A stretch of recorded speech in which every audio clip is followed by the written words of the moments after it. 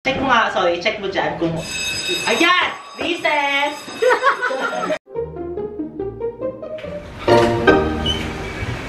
Hi guys! It's your girl, Mimi. Yeah, uh, yeah. Hindi nyo na itatanong.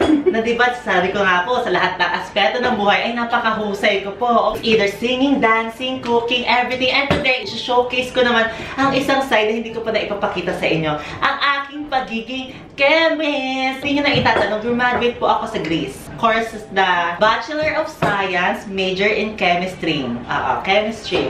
It's like chemistry but, you know, with string of the guitar. Cause, alam niyo ba doon, kumakanta kami habang nag-steer kami. Kasi with guitar, guitar sing. Ha, yeah, ganon. Ako. Today po, makakasama po natin, magpapagalingan po kami ng quality control ng Brilliant Skin. Let's all welcome Miss Jenna. Ulilit, ulilit sana. Ayan, Miss Jenna, ano pong gagawin natin today? Magsusuot ng pH ng products. So, anong number po ng pH sa periodic table? Ulilit, ulilit. Hala, hindi mo alam, Miss Jenna.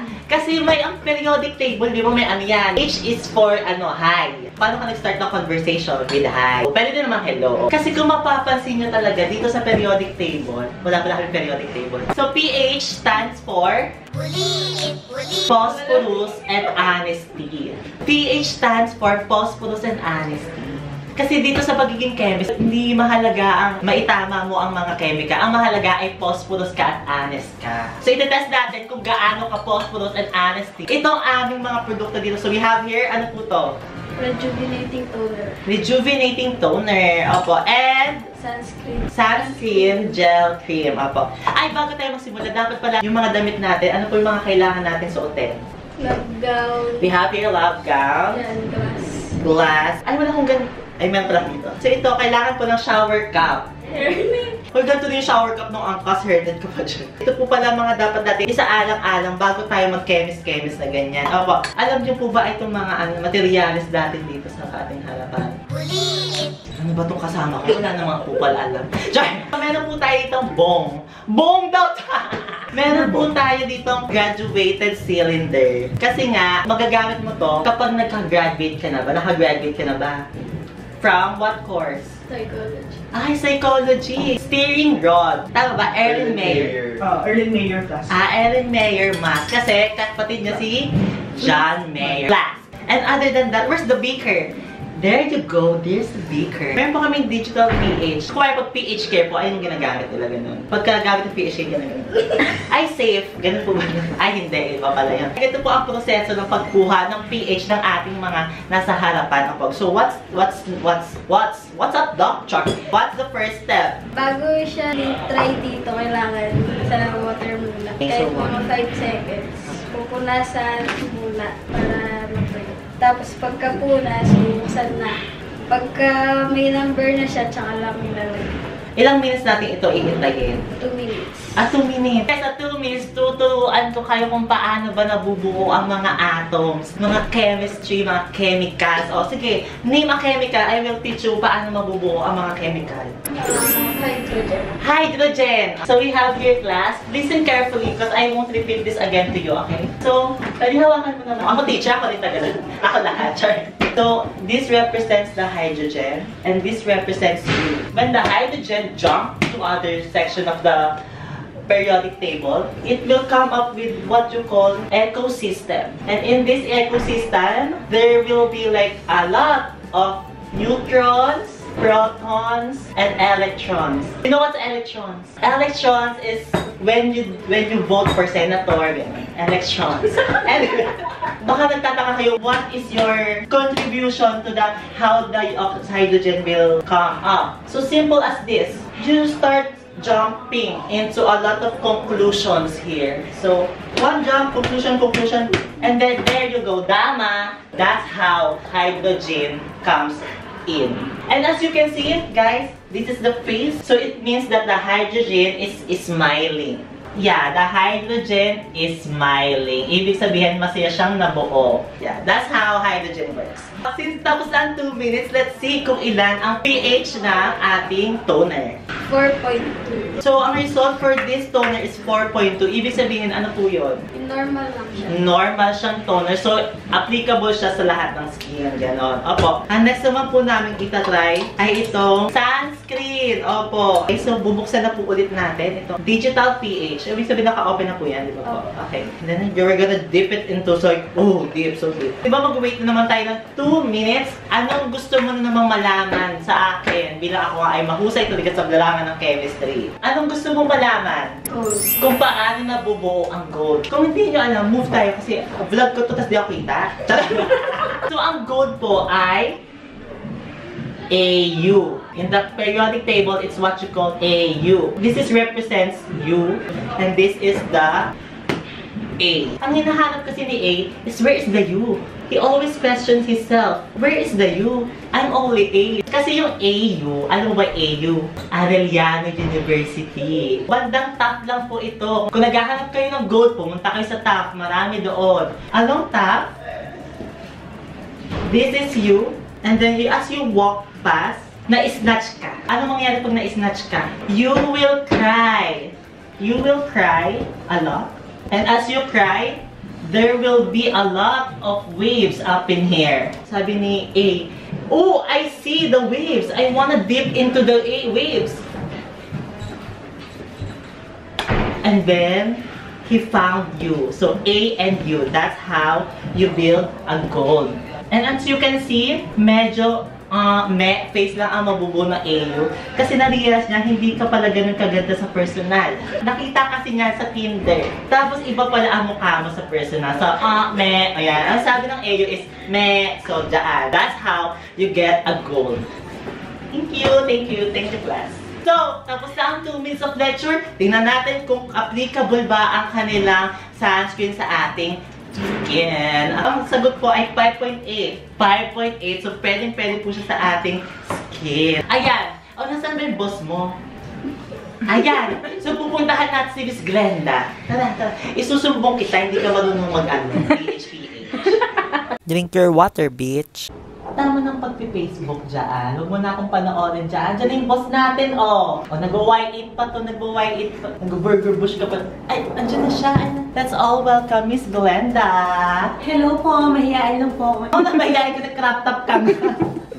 si Miss Glenda po, ang CEO ng Brilliant Skin. At nakakatuwa kung hindi niyo ano, ilang taon po ba kayo? 22. Age tayo. Oo, magka-age kami. Pero tingnan niyo, meron na siyang own line of kanyang skin essentials. Yeah. Nandito tayo sa locker area. So, dito nagsisimula ang lahat. Kailangan nilang hubarin lahat ng mga suot nila from the outside. Yeah, just to make sure na malinis talaga. Yes.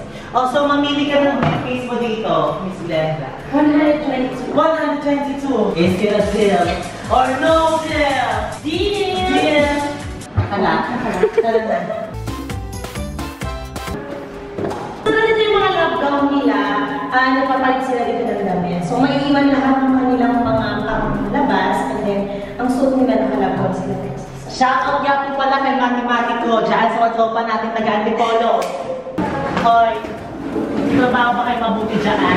Nagpapalamig lang kayo dyan, lamig-lamig dyan. Hello po! Sayo! Sayo! Say we! Ayan! Sticker. Ano yung, pala yung closure. Ganon. Yes. Parang yung mga silbing seal. Ayan. So, may mga feeling diretso sa. Okay.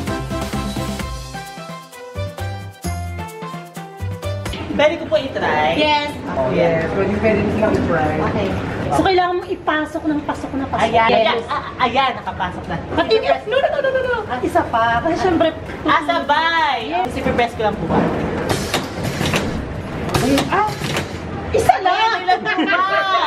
Billion Skin Sunscreen Gel Cream. Opo. Yan, that's uh, one of our best sellers. Okay.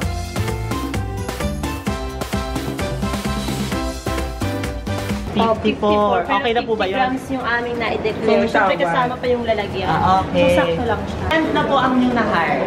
250 na sila. Diba? Nakakatawa. In the age of 22, may na siya na-hire at natulungan 250 na employee. Dito puro mga lalaki yung mga nandito. Ay, tara na. Double time, Glenda. Dito ginagawa yung pag-batching and pagkukuding ng mga products.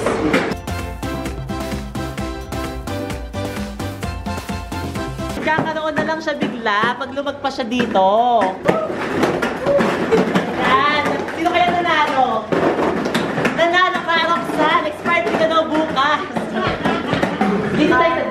Yeah. Pidea, hello. Bakit may drugs mo dyan? Iba yung cosmetics, iba yung drugs. Drugs means meron siyang content na considered as drugs. Ah, okay. May laundry po kayo dito? May laundry Yes, sir. Oh, Hindi ayan. kailangan kasi nila magpalit. Mga stockman, so sila yung mga laging labas-masok dito sa aming production area. Kaya ka may laundry sila dito. So, toner siya, gumagamit namin ng mga instruments para mas mabilis yung production. Ah. Kilala niyo ba siya? Hindi. Kilala niyo ba ako? Oh, hindi din. Alam mo, huwag kayo mag-ala. Hindi ko rin kayo kilala.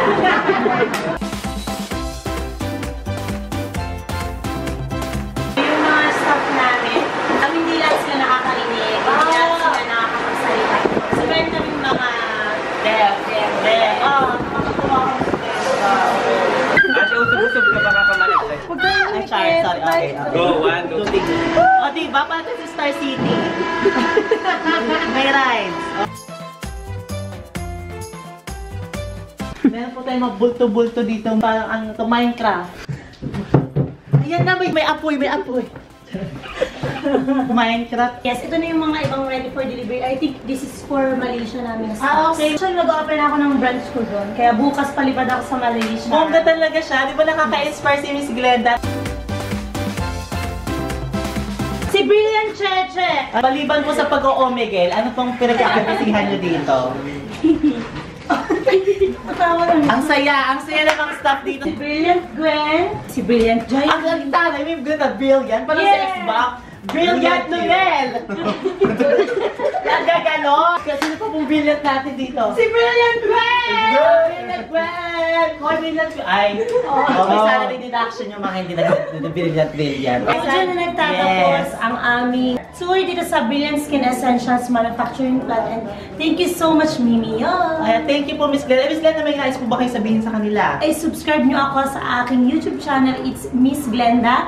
Then sa akin namang Facebook account, it's Glenda Victoria. At syempre ang aming page, it's Brilliant Skin Essentials Main Office. Huwag nyo kakalimutang mag-subscribe sa akin kasi lagi akong merong mga palay raffle sa aking mga viewers. Yes. Mayaman talaga si Miss Glenda. Ako ako ah. sa inyo, isusubscribe ko na yan. And guys, kung may suggestions pa po kayo kung ano pa pong pwede kong gawin, kung may mga planta pa po ba kayong nais kong bisitahin, mag-comment po kayo dyan. And don't forget to subscribe to your girl, Mimi. Uh, yeah. Ah, Bye, Miss Glenda. Bye! Ikaw, ikaw po yung dapat. Kasi magtatrabaho pa po ako dito. Ah, dito ka na Ah, ah, ah. Bye! Bye! Thank you po, thank you po.